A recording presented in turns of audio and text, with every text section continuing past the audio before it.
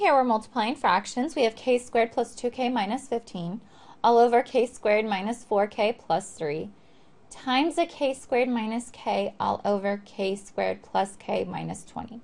So it looks pretty difficult. With multiplication with our fractions, we multiply across, but before we start multiplying, we're going to simplify as much as we can so we can simplify it and cross things off to make this problem easier. So I look at this top. Can I pull anything out? No, but I can break it up into two parentheses. A k here, a k here. My factors of 15, 1 times 15, 3 times 5. My goal is to get a positive 2. The only way is a 3 and a 5, where my 3 is a negative. So I'm going to get minus 3 plus 5. Now I'm looking at this bottom. I can't pull anything out, but I can make my two sets of parentheses. I'm going to put a k and a k. My factors of 3 are 1 and 3. My goal is to get negative 4, so the only way is to make both of those negative.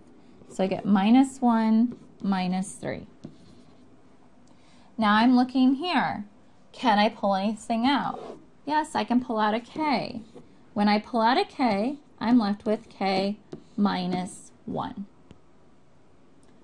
On the bottom, I'm checking. I can't pull anything out, but I can make my two sets of parentheses. I have a K and a K. My factors are 20. 1 times 20, 2 times 10, 4 times 5. My goal is to get a positive 1. The only way for me to get a positive 1 is a 4 and 5. I need to make that 4 negative.